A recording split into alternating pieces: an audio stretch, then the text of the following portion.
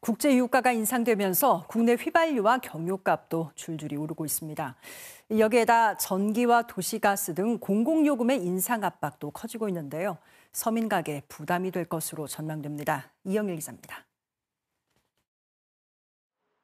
강원도 내 주유소의 평균 휘발유 가격이 1리터에 1,800원을 넘어섰습니다. 평균 경유 가격도 1리터에 1,700원대를 기록하고 있습니다. 유가가 고공행진하면서 정부는 이달 말 종료 예정인 유류세 한신화의 연장 여부에 대한 검토에 들어갔습니다.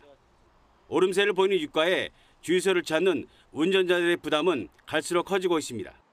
뭐 아무리 뭐 국제 유가 관계가 있다고 하더라도 오름폭이 너무 좀 가파르게 오르는 것 같아요. 그래서 좀 부담이 됩니다. 여기에다 공공요금의 인상 압력도 커지고 있습니다.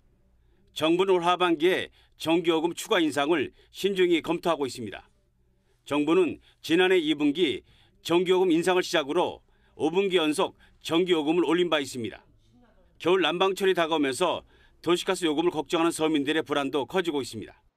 날씨가 추워지기 시작하는데 난방을 시작해야 되는데 이제 도시가스가 많이 올라서 걱정이에요.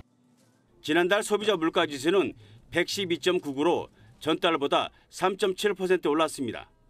올해 4월 이후 5개월 만에 가장 높은 상승률입니다.